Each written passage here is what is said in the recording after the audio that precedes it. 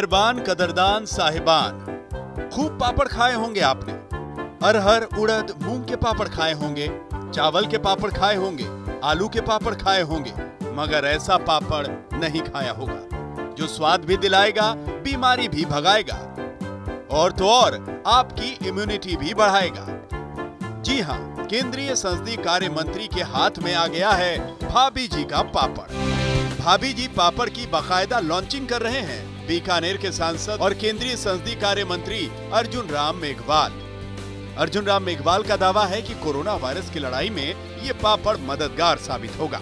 एक आत्मनिर्भर भारत अभियान के तहत भाभी जी पापड़ नाम से एक पापड़ निर्माता ने एक ऐसा ब्रांड निकाला है, जिससे कोरोना वायरस से लड़ने के लिए जो एंटीबॉडी डेवलप होने के लिए जो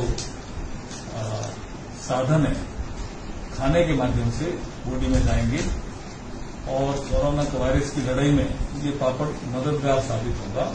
मेघवाल का दावा है कि पापड़ में वो गुण मौजूद हैं जो कोरोना को परास्त करने में सहायक। है तो मतलब नाहक ही मरी जा रही है दुनिया कोरोना की दवाई बनाने में।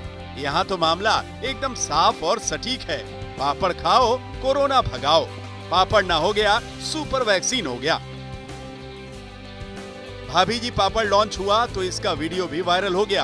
और वायरल वीडियो हुआ तो कोरोना से डरे सहमे लोग भी उत्साहित नज़र आए कि भाभी जी पापड़ खाना है और कोरोना को भगाना है। भाभी जी पापड़ है ना?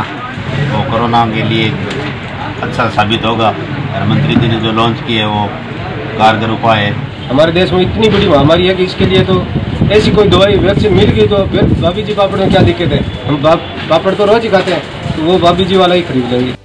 यहाँ बीकानेर वाले तो पापड़ खरीदने और खाने के लिए उतावले हुए जा रहे हैं, मगर जहाँ अर्जुन राम मेघवाल का वीडियो वायरल हुआ, वहाँ तो लोग पापड़ खाने के बजाय सियासी पापड़ बेलने लगे, जितने मुँह उतनी बातें। किसी ने कहा, मंत्री जी, कोरोना काल में मज़ाक कर रहे हैं। किसी ने कहा, डॉक्टर अब मरीज़ को लिखेगा, दो टाइम भाभी जी कोरोना पापड़। किसी ने कहा, वैक्सीन छोड़ो, पापड़ का प्रोडक्शन शुरू करो। किसी ने कहा, सुपर पावर 2020 पापड़ मिसाइल। और तो और लोगों ने यहाँ तक कहना शुरू कर दिया कि अपने किसी व्यवसायी मित्र को फ़ायदा पहुँचाने के लिए मंत्री जी ने पापड़ का प्रचार किया। हालाँकि पापड़ के इस प्रचार को अर्जुन राम मेघवाल दूसरे तरीके से देखते हैं। उनके ट्वीट से इसे समझिए। बीकानेर के पापड़, भुजिया और रसगुल्ले सुप्रसिद्ध हैं। मैं वोकल फॉर लोकल की मुहिम का समर्थन करते हुए आप सभी को अपने क्षेत्र के स्थानीय उत्पादों के बारे में वोकल बनने की श्रृंखलाबद्ध रूप से अपील करता हूँ ताकि वोकल फॉर लोकल मुहिम को और आगे बढ़ाया जा सके। वोकल फॉर लोकल कुछ याद आया? जी हाँ प्रधानमंत्री नरेंद्र मोदी ने देश से अपील की थी कि लोकल सामानों को तरजीह दें लोकल के लिए वोकल हो जाएँ और लोकल को ब्रांड बना दें। समय ने हमें सिखाया है कि लोकल को हमें अपना जीवन मंत्र बनाना ही होगा।